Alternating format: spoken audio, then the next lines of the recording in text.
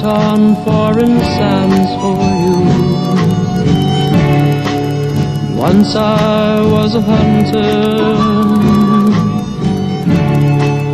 and I brought home fresh meat for you. Once I was a lover. Photographs of, of Vietnam created an indelible impression on people. Um, they called it a TV war, but quite frankly, the images people remember are still photographs. to tell you I was just a lie. And sometimes I wonder just for a while, will you ever? I think to be a war photographer is the most perverted thing you can be. It's, I think pornography is a safer ground to be on than to be a war photographer. And the uh, the idea of being labelled as a war photographer is really upsets me. all of our. I find myself searching. The responsibility of the photographer, especially the combat photographer, is to capture the toll that war causes on humanity. Not upon the Gook, not upon the Kraut, not upon the Jap, but upon other people.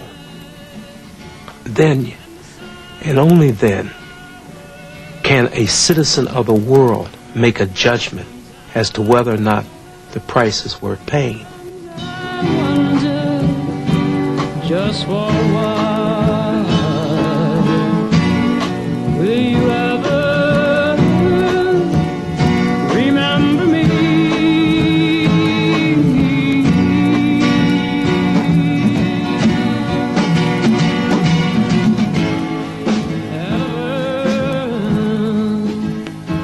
Remember me? The train of events that led up to the death of Thich Quang Duc, this monk who burned himself, um, had begun some weeks earlier than the actual suicide. And what, what was happening was that the, the Buddhist majority of the country was, uh, was working to end the dominance of, uh, of, a, of a Catholic government. One day, I turned up at this little pagoda where the protest march had been organized. Two young monks came over quite rapidly with a jerry can of gasoline and poured it over the old monk and stepped back. And then he uh, he had a packet of matches in his in his lap. He struck one of them, and instantly he was enveloped in flame. Um, I just kept shooting and shooting and shooting, and uh, and that protected me from the horror of the thing, the, the smell of the of the burning flesh, the the expression of anguish. He never cried out, but his face did become anguished, and eventually, of course, he uh, he just he flopped over and twitched a few times, and and that was it. Well, the impact uh, was was uh, sensational in the United States. I think it was the first time ever that that uh, something like this had been photographed. Between 1962 and 1965, the interest of American papers around the world was uh, okay, only occasional, sporadic. The war was between Vietnamese and Vietnamese. Our job in the beginning was to put that war on the map and try to we tried to bring it to the attention of the outside world.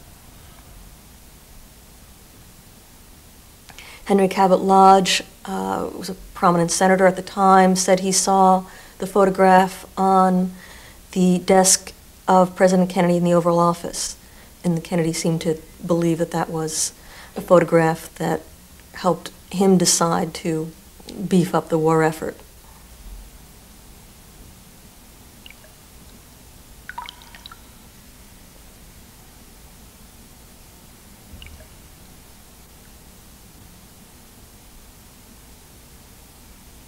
I was there for the arrival of the very first U.S. Marines when they came ashore in Da Nang. They took us out to this beach before dawn, And standing on the beach with us was a couple of TV crews. There was the head of the Da Nang Chamber of Commerce, and uh, he had with him about 20 beautiful ladies dressed in these flowing ao dais, and they're all handing, holding wreaths. You know, I wonder what would happen if we have one of them lay around the neck of the first Marine to come off the landing craft. So sure enough, here come about eight landing craft up to the beach, and the minute the ramps go down, the Marines come charging out. Not only did this one lady walk out, but the others see her going out, and now there are 20 girls. The landing craft are banging into each other. Marines are grabbing girls, dropping their weapons. It's absolute pandemonium. And we turned around, and here's this Marine general, and there are tears coming out of his eyes. And he said, You've ruined it. You've ruined the whole landing. And you know something? That war never went right from that point on.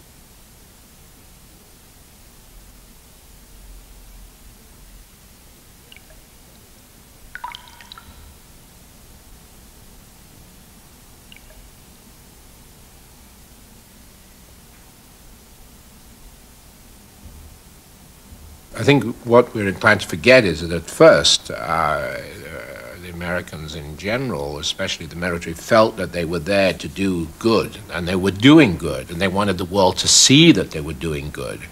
It was called winning the hearts and minds of the Vietnamese. Personal hygiene was always a matter of great concern to Americans. Every American seemed quite convinced that people were somehow unhygienic. On the other hand, the Vietnamese, who found it necessary to bathe three times a day, could never understand why Americans restricted themselves to only one daily washing. This Marine uh, was demonstrating to bored mothers how to bathe a child. One mother realized the Marine was using her vegetable dish to stand the boy in, and to the embarrassment of the other Marines, grabbed the dish and strode off, cursing such disregard for the basics of cleanliness. The U.S. would in order to try and promote civil development would get these training programs and you would sometimes see a big American sergeant coming in, a big beefy guy that weighed 250 pounds, and these three Vietnamese guys, each of which who weighed about maybe 105 pounds.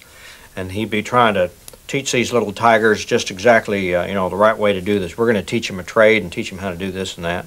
And of course, as soon as the press would like turn around and walk away from the event, everybody would go back to kind of doing what they were doing before it had even happened.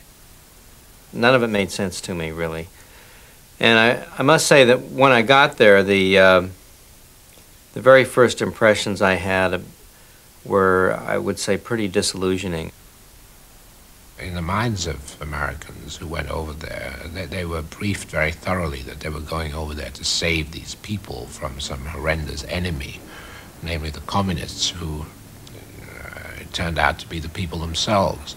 Um, they were totally convinced that their value structure was dominant and the important one and the and the, the correct one, and that the rest of the worlds were savages, dinks and slopes.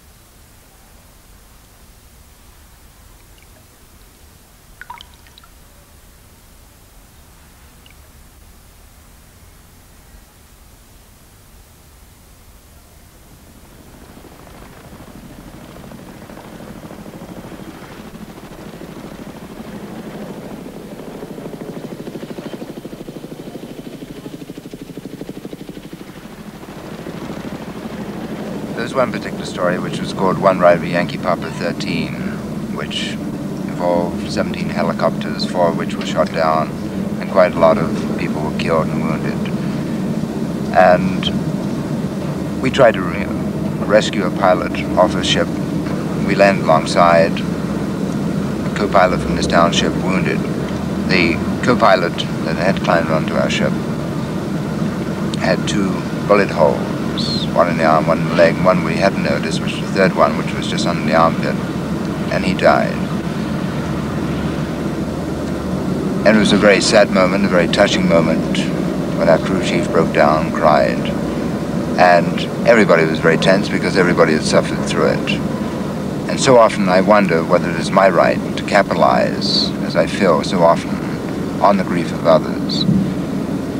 But then I justify my own particular thoughts by feeling that if I can contribute a little to the understanding of what others are going through, then there's a reason for doing it.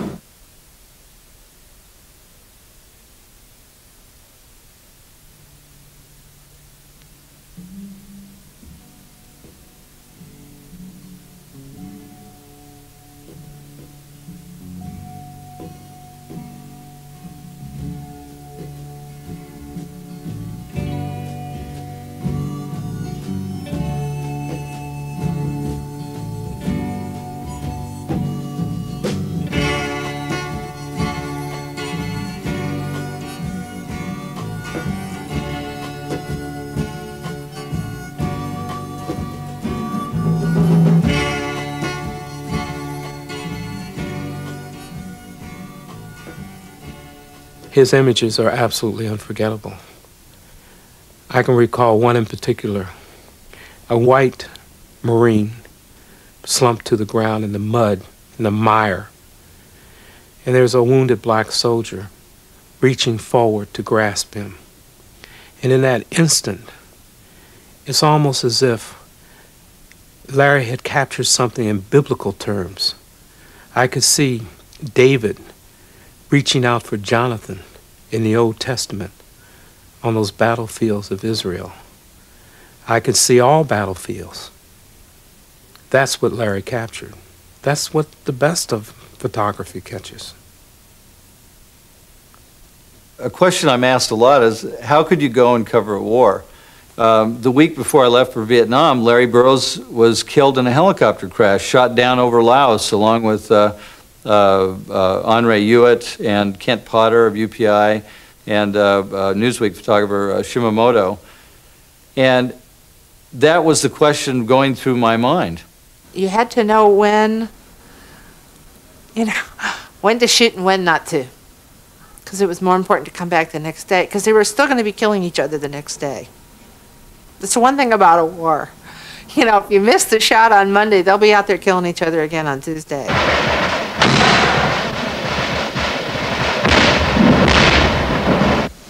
You can't let yourself think.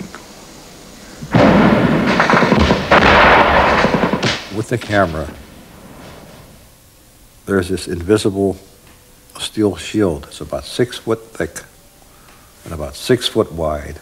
And when the bullets come, they're going to get that GI over there. They're going to get that GI over there, but they're not going to get me because I have that little 35 millimeter camera. It's all up here because what you do is you concentrate on exactly on what you're doing and you do it.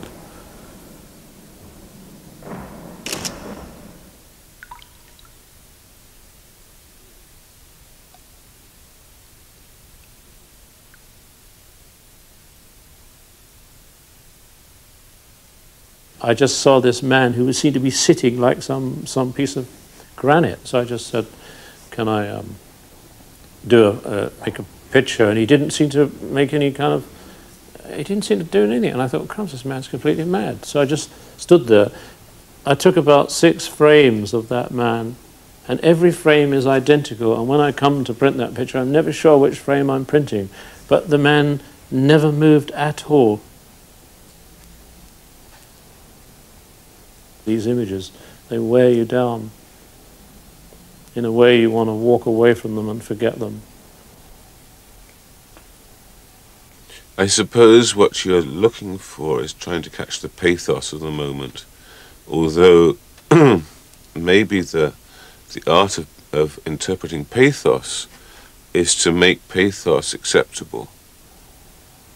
The picture of the ambush, a helicopter coming in through red smoke and bodies in the road, and it's kind of ironic. There's a sign on the side of the road, and the sign on the side of the road says, "All Americans read this sign will die."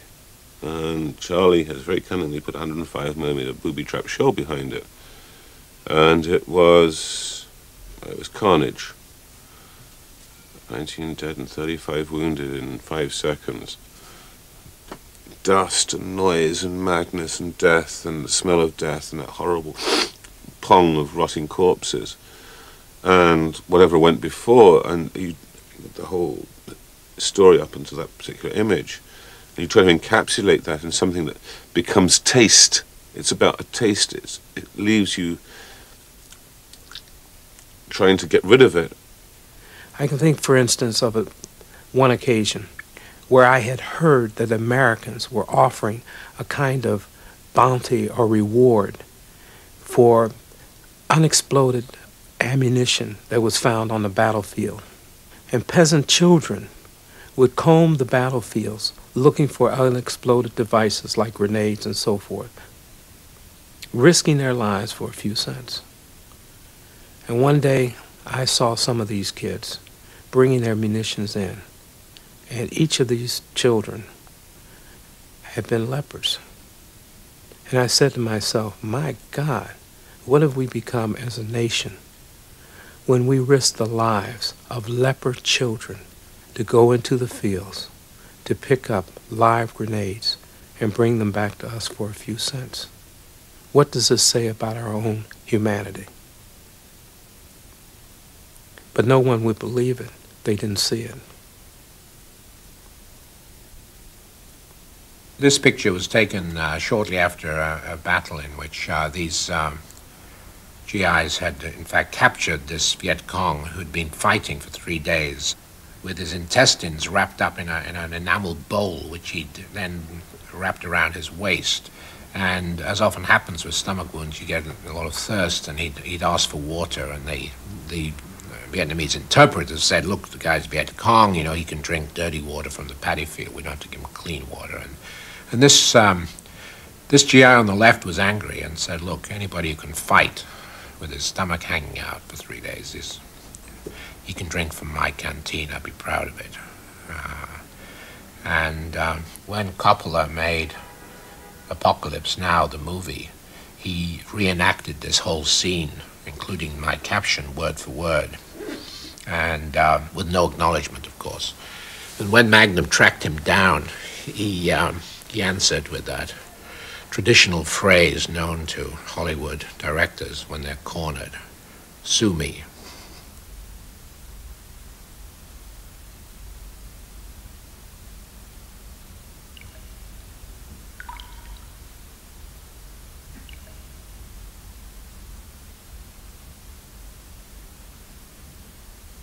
February 1968, the communists launched a coordinated attack against every major city in Vietnam.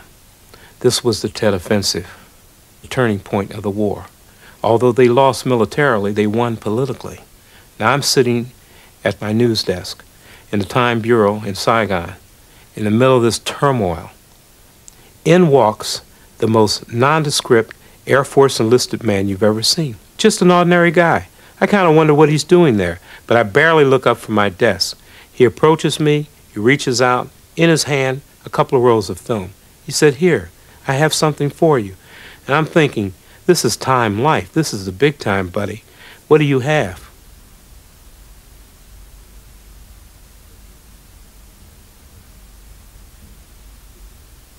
So I take the pictures, and they turn out to be incredible. And the photographer is a young man named John Olson. As a photographer for Stars and Stripes, which was a daily newspaper that the Department of Defense published, I was able to shoot uh, whatever I wanted to shoot, go wherever I wanted to go. And during that time, I carried five cameras. I carried one for Stars and Stripes and four for myself. Uh, during the Battle of Hue, for instance, I shot every uh, last roll of film I had, and I came out and I gave the majority of the film to Life magazine. Here are American dead and wounded. It's absolutely horrific. It shows the terrible price that Americans are paying in this war. And it comes through loud and clear in a single photograph that would break your heart. There were a number of uh, dead and wounded Marines who the only way they could be evacuated was on this, this tank. The Marine in the foreground uh, was wounded and very much alive, but, but there were so many wounded that needed to be treated that I heard later that they zipped him up in a body bag while he was still alive.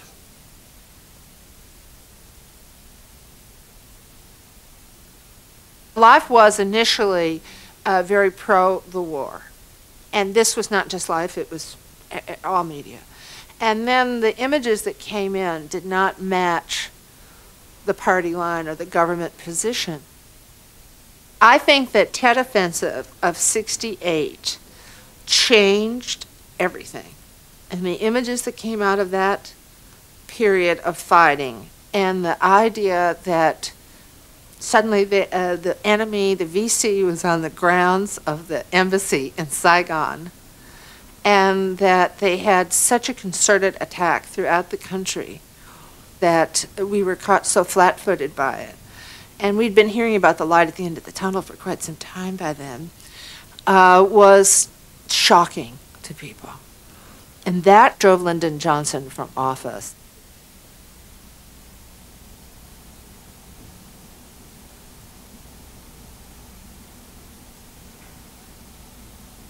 By making it easy for you to go to Vietnam and cover the war, I think they were digging their own graves in a way, um, because they they made it so easy for you to go and criticize, um, and you had total carte blanche to do anything you wanted. They gave you the accredited rank of major in the American Army. They gave you a, another card which you were supposed to surrender on if you were captured by the North Vietnamese and you, you, you, you were lodged in the officers' messes wherever you happened to stay, and uh, it was all so easy. You could almost conjure up a helicopter the way I could go out into a London street and get a taxi cab. And in a way, um, what happened because of that, the American military, I don't think ever forgave the press for what they thought was treachery in a way that lost them the war, which was nonsense, really.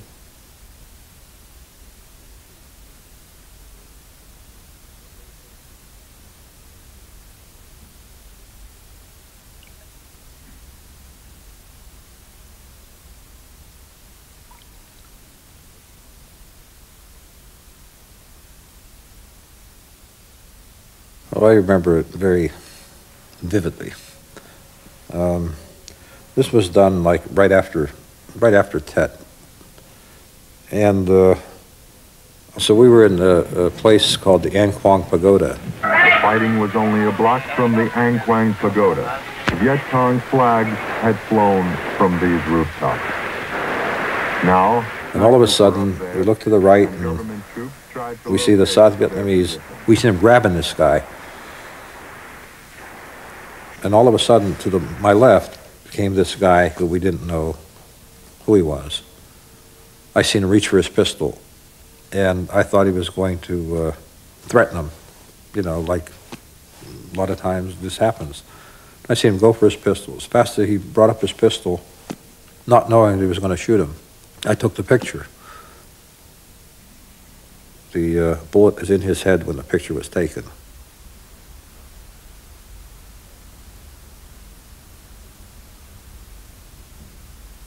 The interesting thing about that particular image was that it was an image that was filmed uh, by a TV camera crew, by one of the network crews.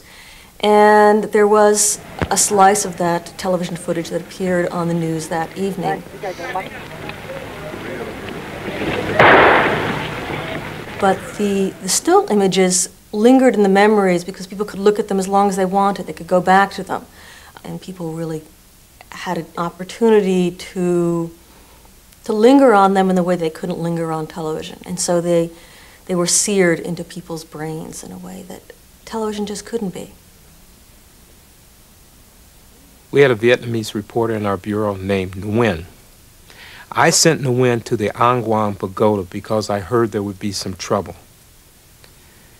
Later on in the afternoon, after Nguyen came back and said nothing to me, I heard that General Nguyen had executed a Viet Cong soldier with no trial. He had just been captured. He executed him on the spot in front of American television and Eddie Adams' camera. When I asked Nguyen, why didn't he tell me what had happened? Nguyen said, uh, Mr. Terry, General Nguyen does that all the time. That's not news. But in America, that picture was news. Americans viewing Eddie Adams' picture said to themselves, that's enough. We've had it. We're not going to support a dictatorship. This is not democracy as we know it.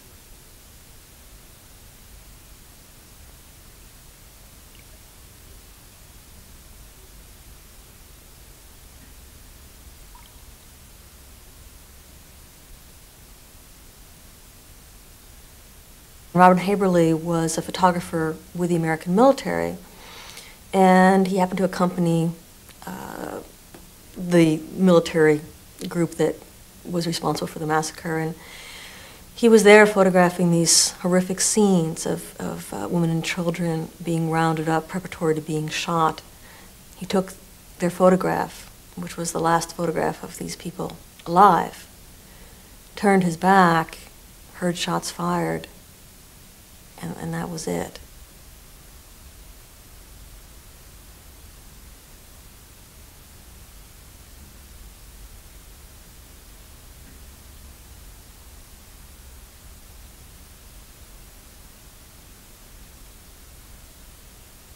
Life magazine bought the rights and published them in a, in a, um, big spread in 1969, about a year after the event first took place. At that point, all eyes were riveted on the My Lai massacre. It went from being uh, sort of an addendum on page 39, if that even made it there, to being uh, just a major incident. The most classic example of the greatest atrocity in Vietnam, in my opinion, was the murder at My Lai of the villagers. And um, the person in question uh, who took the photograph was an American Army sergeant. Now, if I'd have been that soldier, I would have put my bloody camera away and, and got in there and saved some of those people. I mean, what are they going to do to you? Are they going to shoot you, one of their own men, for saving a little child? There was very little that I think he as a photographer could have done, and very little that really any Vietnam photographer could do in most situations. And I think that photographers in Vietnam saw their role as bearing witness. They weren't callous, they were engaged, but they weren't participants. My conscience about my role has, with, has been with me to this day. I never ever felt comfortable about what I was doing. You could argue, well, why did you keep doing it? Was the thing I knew how to do best. I was young and, and uh, I didn't censor myself enough, but I used to, to, to see dead soldiers, and I think, I'm going to make a, a statement somehow. I tried to make a statement. Um, I didn't think anybody's sacrifice was, was unworthy. I felt that everyone who'd fallen should be recorded. It sounds a silly thing to say, but I, I made a few mistakes in my life, I'm sure I did. And I, I took some unpleasant photographs. But war is an unpleasant uh, business. The surgeon who faints at the sight of blood, or the photographer who cries when he sees something terrible happening, um, is, is not a very good photographer. I mean, they're, they're both professionals who should be banned, turned out of the profession first of all, if you're crying, you can't see the focus. So the, the time to break down, if you like, is, is later when you're editing the contact sheets, which I suppose I still do to this day. You know, I find it very hard to look at this stuff.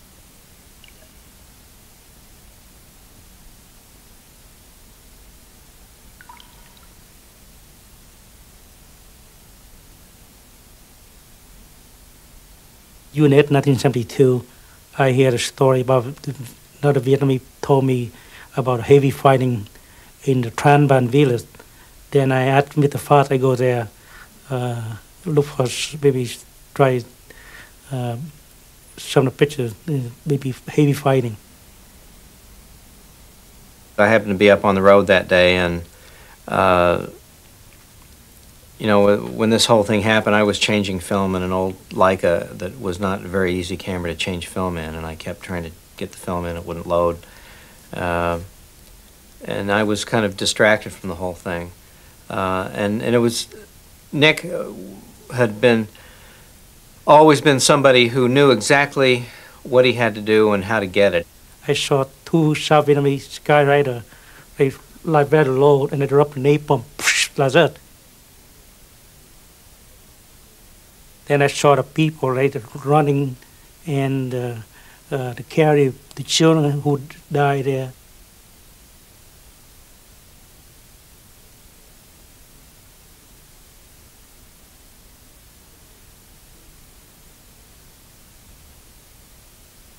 I remember seeing him and the other people take off down the road when they realized what was happening. The, the, the folks were running out of the village.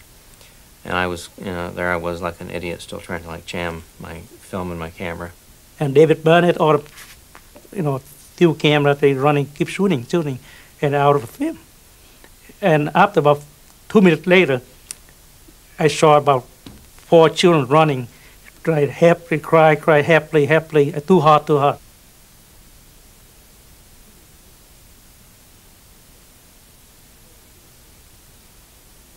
Then her, her father jumped up to me and said, uh, please take her, my daughter hospital. Then I, said, yes, I will. Then I, take her to Cu Chi hospital. Right picture at the right time. When it was taken, I was somewhere else on a military operation. I wasn't in Saigon that day. And a colleague editor of mine went through the film and edited it. And he picked up something else, but he didn't select this photo. As I always did when I came back, I would double check if anything was amiss or anything was judged wrong or who performed and who didn't perform. And I came across this picture leafing through the film. Well, why didn't you use this picture?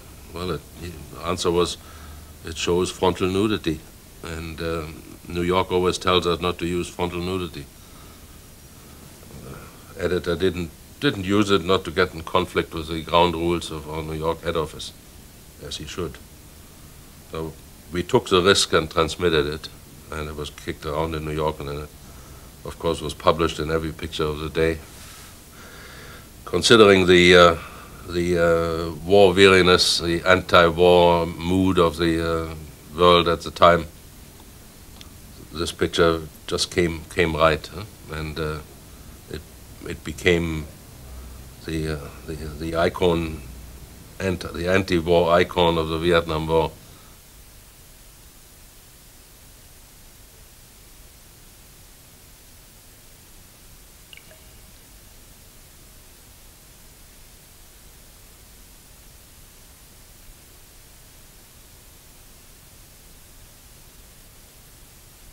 It's a photograph of a helicopter atop of people mistakenly think was the U.S. Embassy. It wasn't. It was the Air France building. Uh, and there had been pre-designated LZs for the helicopters to evacuate people. And this photograph shows people climbing up to the helicopter. Somehow the helicopter seems much too small. It's as though that whole effort finally amounted in the end to one little helicopter that was incapable of carrying out all those people who needed to leave.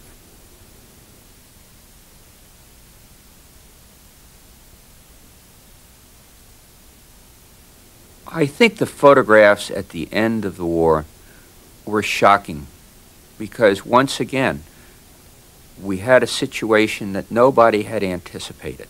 Nobody could imagine that the greatest military power on earth uh, would walk away after 10 years of war, after 55,000 Americans had been killed. Just walk away like it didn't matter anymore which is exactly what happened. Where was the help for these people? The help that we were supposed to have given had left.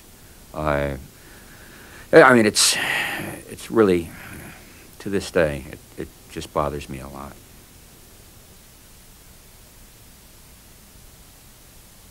As a photographer who had been in Vietnam, actually being in the room when the decision was made to uh, leave Vietnam was uh, both exciting and devastating for me.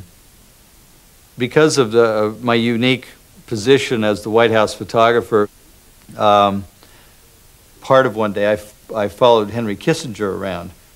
I followed Brent Scowcroft into the Oval Office, and Brent was the national security deputy. Uh, and Scowcroft looked back around, and they were going into the Oval Office to tell the president that uh, uh, things had gotten so bad that we had to get out. I think the most um, dramatic moment for me was actually a very quiet moment when President Ford had just ordered Operation Frequent Wind, which was really to get the last Americans out. Secretary Kissinger had come up and briefed him And then he sat there with Mrs. Ford and he was like on the couch and she was watching him after he'd made the phone call that said, go ahead, do it. And here was a man pondering what he'd just done. I mean, he just ordered the end of the Vietnam War. Bango.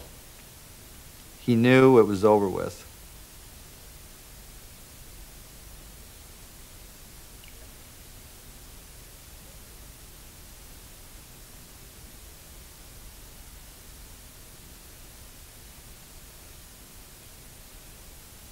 I came back for good because I got really scared and I thought I was going to die. And when I came back here, I didn't like anybody. Uh, and I was going to the AP office on, around Rockefeller Center, it's right across the street from the Time Life building. And I seen a Vietnam veteran walking across the street when I was home who had uh, part of his leg missing. He was on crutches and decorated, you know, and had his uniform on. And a cabbie almost killed him. And I walked into the Associated Press office and, and I looked at these guys and I said, here's all these fat guys and these people just sitting here cranking away at their typewriters and nobody cared. How did it change me personally? Chalk and cheese. I mean, I went in like a lamb and I've come out like a, I came out like a, a wolf with no brain. Um,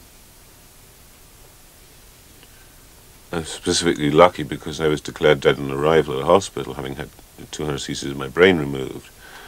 And Vietnam virtually killed me, left me in a, a critical condition, to say the least. Left me disillusioned, broken, and spun out.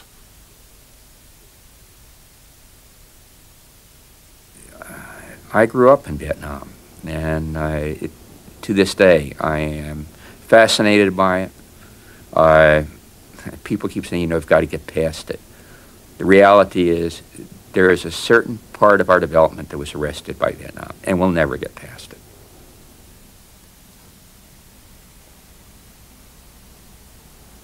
I lay in bed at night and see those images coming back to me quite clear. Um, I can smell the blood, I can smell the burning villages, and I can smell the, the, the kind of pollution of Saigon. It's never left me. The whole thing is like as if I've got a kind of damaged skin. It's there. But I asked for it. I, I volunteered to go. Nobody sent me against my will. So I can't blame anybody, really.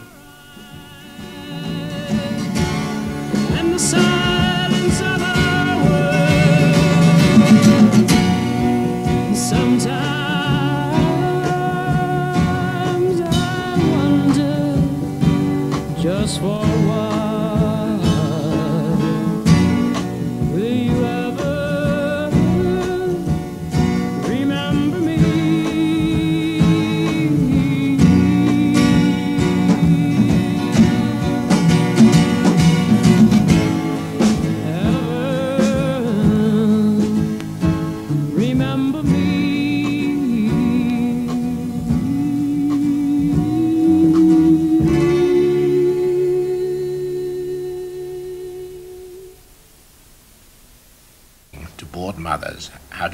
child.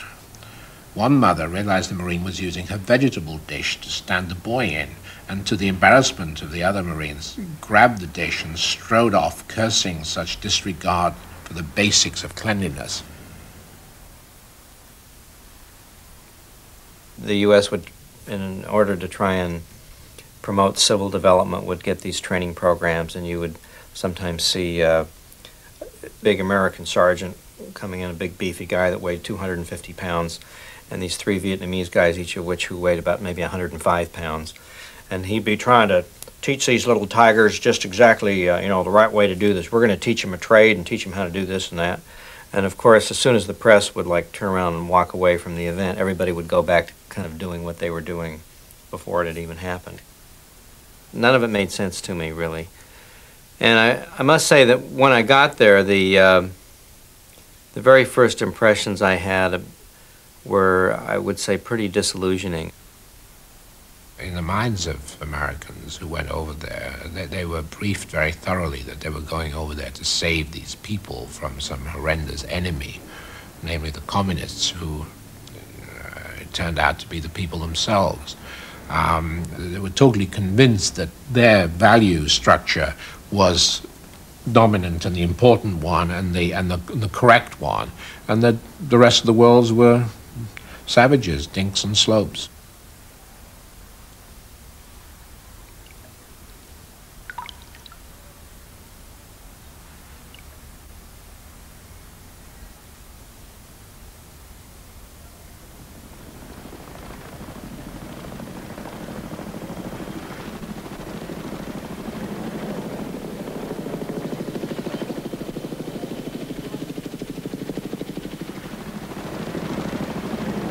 There's one particular story which was called One Ride Yankee Papa 13, which involved 17 helicopters, four of which were shot down, and quite a lot of people were killed and wounded.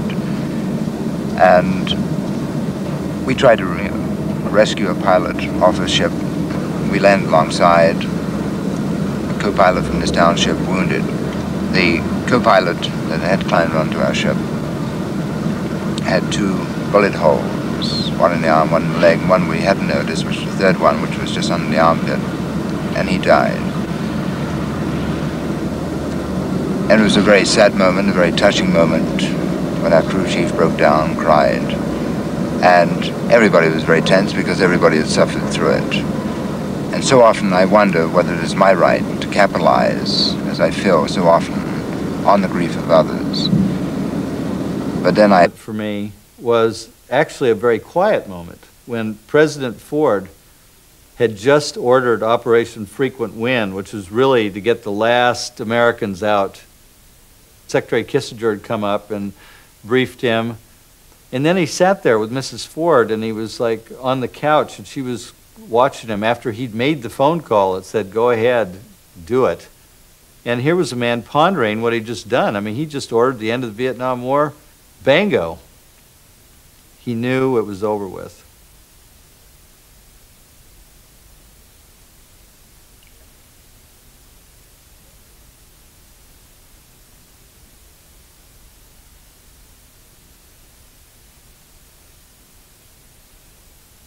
I came back for good because I got really scared and I thought I was going to die.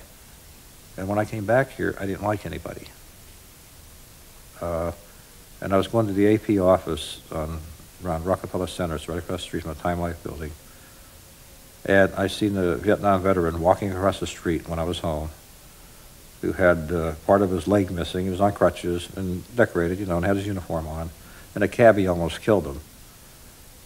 And I walked into the Associated Press office and, and I looked at these guys and I said, here's all these fat guys and these people just sitting here cranking away at their typewriters and nobody cared.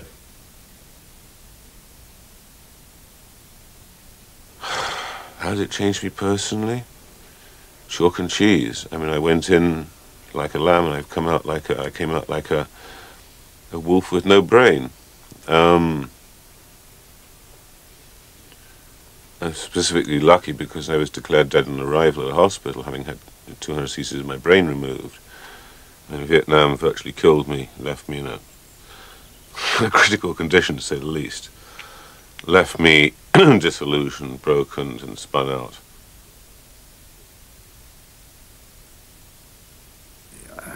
I grew up in Vietnam, and I, it, to this day, I am fascinated by it.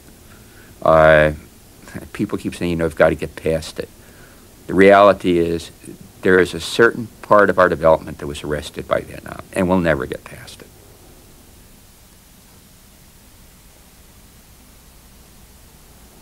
I lay in bed at night and see those images coming back to me quite clear. Um, I can smell the blood, I can smell the burning villages, and I can smell the, the, the kind of pollution of Saigon. It's never left me. The whole thing is like as if I've got a kind of damaged skin. It's there.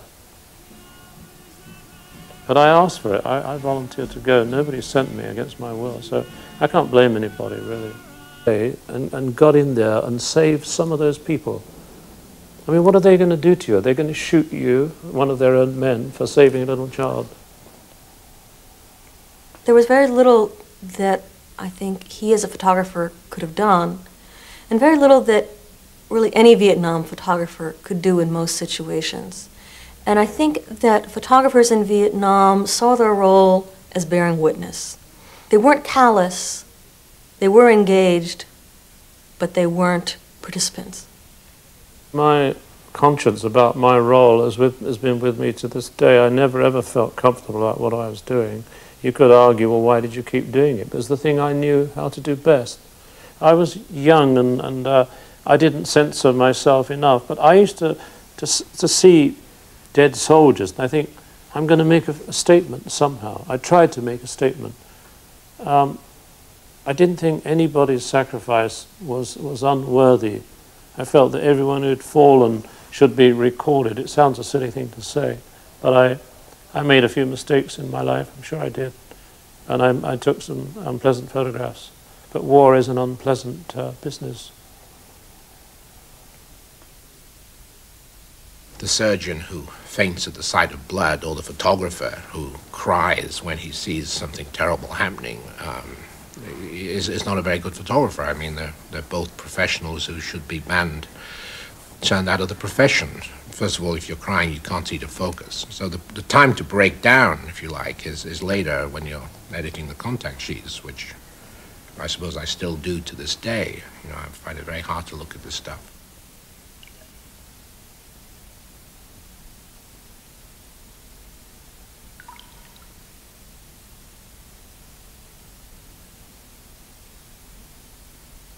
UNIT 1972, I heard a story about another Vietnamese told me about heavy fighting in the Trang Bang village. Then I asked Mr. Faas, I go there, uh, look for maybe try uh, some of the pictures, uh, maybe heavy fighting. I happened to be up on the road that day, and uh, you know, when this whole thing happened, I was changing film in an old Leica that was not a very easy camera to change film in, and I kept trying to get the film in, it wouldn't load. Uh, and I was kind of distracted from the whole thing. Uh, and, and it was, Nick uh, had been, always been somebody who knew exactly what he had to do and how to get it. I shot two South Vietnamese Skyraider, they like very low, and they dropped a napalm, like that. Then I saw the people, right? Our job in the beginning was to put that war on the map and try to, we tried to bring it to the attention of the outside world.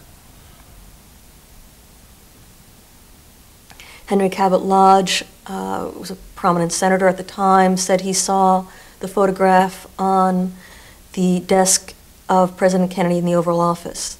And Kennedy seemed to believe that that was a photograph that helped him decide to beef up the war effort.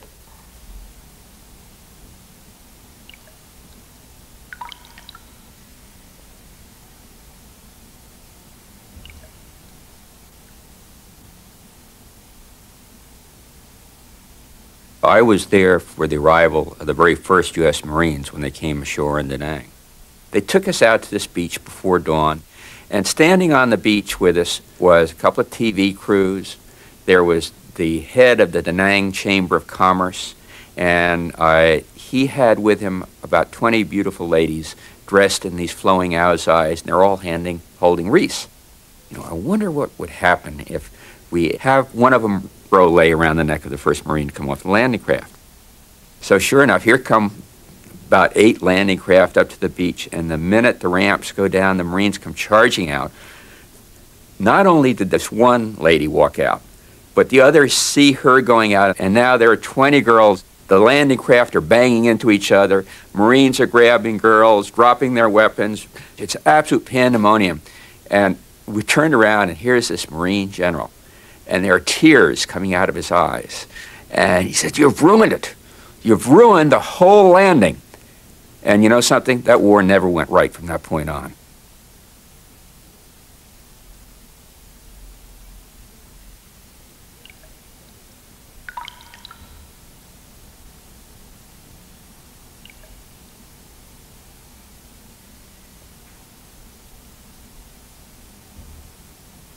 I think what we're inclined to forget is that at first, uh, the Americans in general, especially the military, felt that they were there to do good, and they were doing good, and they wanted the world to see that they were doing good.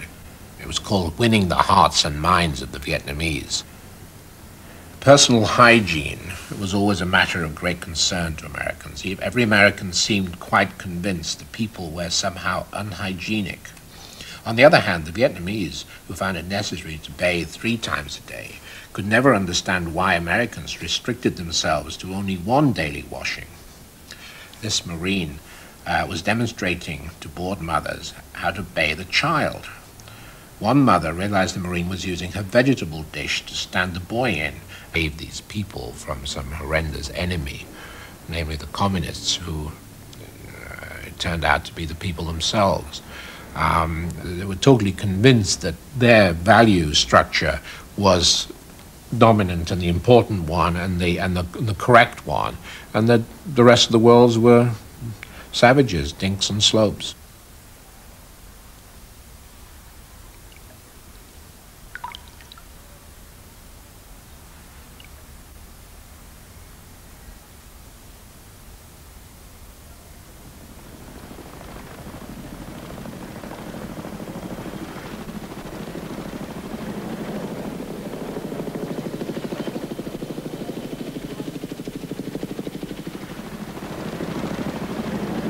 There's one particular story which was called One Ride with Yankee Papa 13, which involved 17 helicopters, four of which were shot down, and quite a lot of people were killed and wounded. And we tried to re rescue a pilot off a ship. We landed alongside, a co-pilot from this township wounded. The co-pilot that had climbed onto our ship had two bullet holes one in the arm, one in the leg, one we hadn't noticed, which was the third one, which was just under the armpit, and he died. And it was a very sad moment, a very touching moment, when our crew chief broke down cried. And everybody was very tense because everybody had suffered through it. And so often I wonder whether it is my right to capitalize, as I feel so often, on the grief of others. But then I justify my own particular thoughts by feeling that if I can contribute a little to the understanding of what others are going through, then there's a reason for doing it.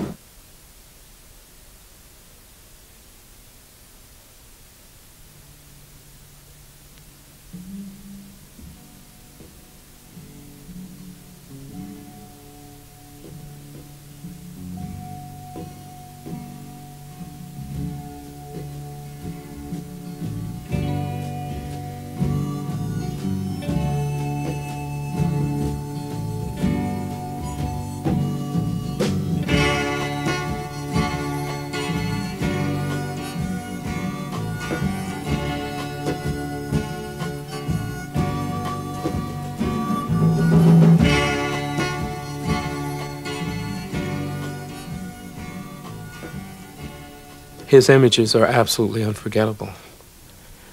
I can recall one in particular a white Marine slumped to the ground in the mud, in the mire.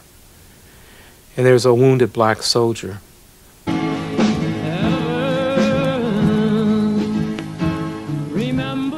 The train of events that led up to the death of Thich Quang Duc, this monk who burned himself, um, had begun some weeks earlier than the actual suicide. And what, what was happening was that the, the Buddhist majority of the country was, uh, was working to end the dominance of, uh, of, a, of a Catholic government. One day, I turned up at this little pagoda where the protest march had been organized. Two young monks came over quite rapidly with a jerry can of gasoline and poured it over the old monk and stepped back. And then he uh, he had a packet of matches in his in his lap. He struck one of them, and instantly he was enveloped in flame. Um, I just kept shooting and shooting and shooting, and uh, and that protected me from the horror of the thing, the, the smell of the of the burning flesh, the the expression of anguish. He never cried out, but his face did become anguished, and eventually, of course, he uh, he just he flopped over and twitched a few times, and and that was it well, the impact uh, was was uh, sensational in the United States. I think it was the first time ever that that uh, something like this had been photographed. Between 1962 and 1965, the interest of American papers around the world was uh, okay, only occasional, sporadic. The war was between Vietnamese and Vietnamese. Our job in the beginning was to put that war on the map and try to we tried to bring it to the attention of the outside world. Henry Cabot Lodge uh, was a prominent senator at the time, said he saw the photograph on the desk of President Kennedy in the Oval Office. And Kennedy seemed to believe that that was a photograph that helped him decide to beef up the war effort.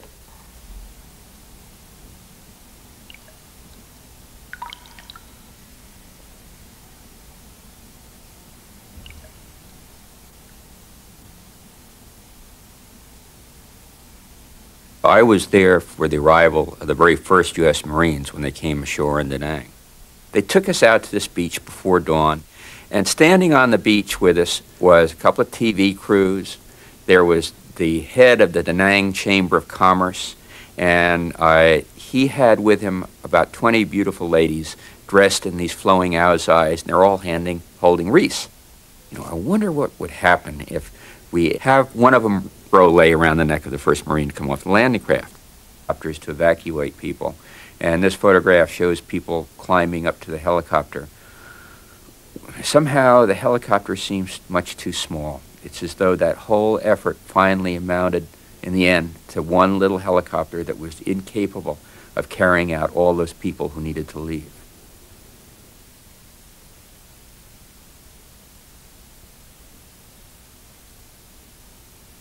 I think the photographs at the end of the war were shocking because once again, we had a situation that nobody had anticipated. Nobody could imagine that the greatest military power on earth uh, would walk away after 10 years of war, after 55,000 Americans had been killed.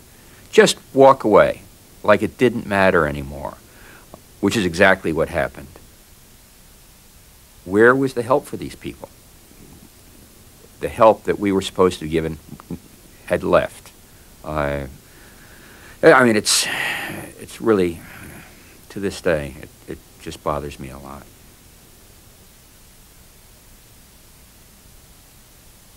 As a photographer who had been in Vietnam, actually being in the room when the decision was made to uh, leave Vietnam was uh, both exciting and devastating for me.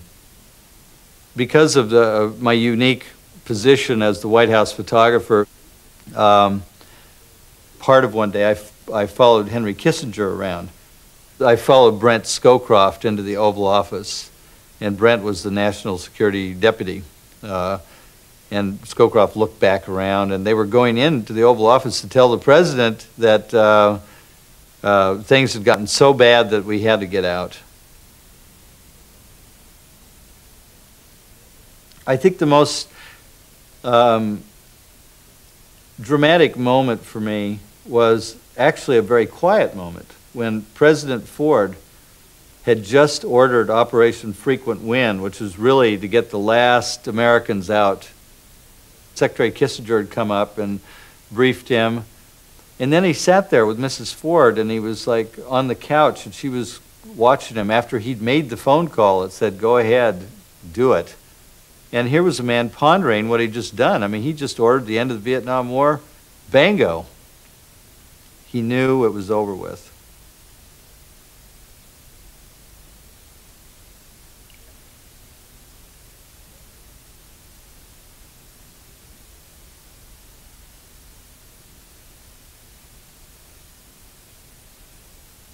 I came back for good because I got really scared and I thought I was.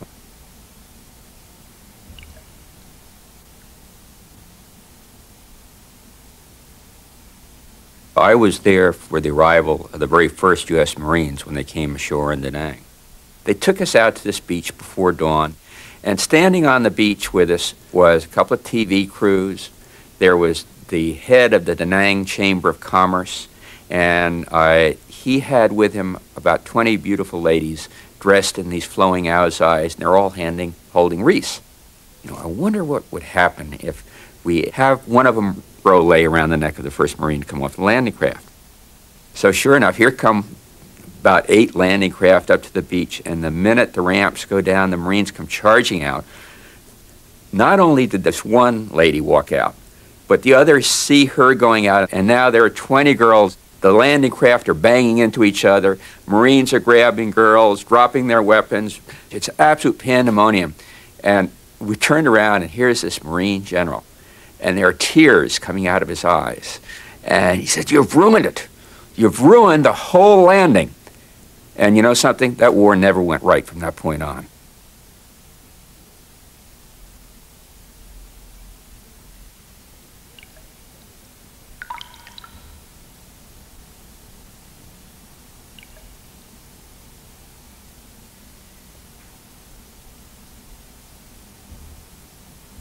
Think what we're inclined to forget is that at first, uh, the Americans in general, especially the military, felt that they were there to do good, and they were doing good, and they wanted the world to see that they were doing good. It was called winning the hearts and minds of the Vietnamese. Personal hygiene was always a matter of great concern to Americans. Every American seemed quite convinced that people were somehow unhygienic. On the other hand, the Vietnamese, who found it necessary to bathe three times a day, could never understand why Americans restricted themselves to only one daily washing. This Marine uh, was demonstrating to bored mothers how to bathe a child. One mother realized the Marine was using her vegetable dish to stand the boy in, and to the embarrassment of the other Marines, grabbed the dish and strode off, cursing such disregard for the basics of cleanliness.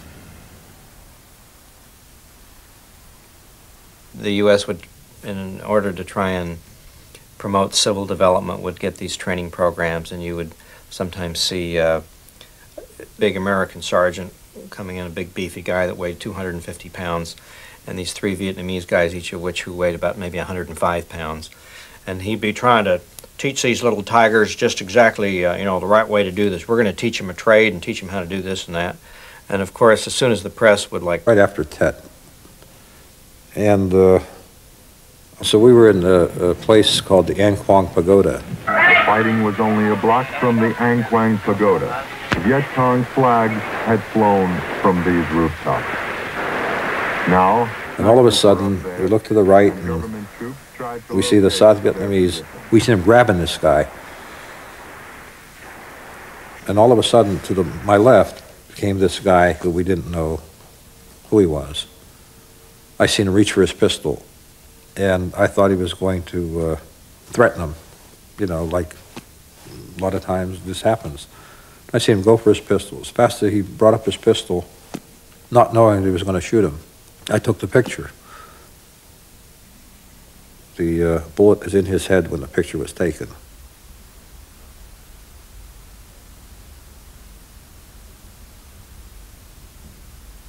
The interesting thing about that particular image was that it was an image that was filmed uh, by a TV camera crew, by one of the network crews. And there was a slice of that television footage that appeared on the news that evening. But the, the still images lingered in the memories because people could look at them as long as they wanted. They could go back to them. And people really had an opportunity to to linger on them in the way they couldn't linger on television. And so they, they were seared into people's brains in a way that television just couldn't be. We had a Vietnamese reporter in our bureau named Nguyen. I sent Nguyen to the An Quang Pagoda because I heard there would be some trouble. Later on in the afternoon, after Nguyen came back and said nothing to me, I heard that General Nguyen had executed a Viet Cong soldier with no trial. He had just been captured. He executed him on the spot in front of American television and Eddie Adams' camera. When I asked Nguyen Why didn't he tell me what had happened? Nguyen said, uh, Mr. Terry, General Loan does that all the time. That's not news. But in America, that picture was news. Americans viewing Eddie Adams' picture said to themselves, that's enough. We've had it.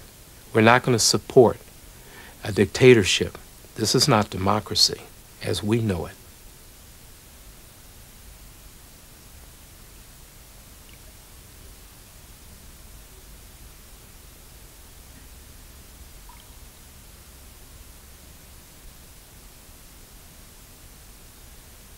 Robert Haeberle was a photographer with the American military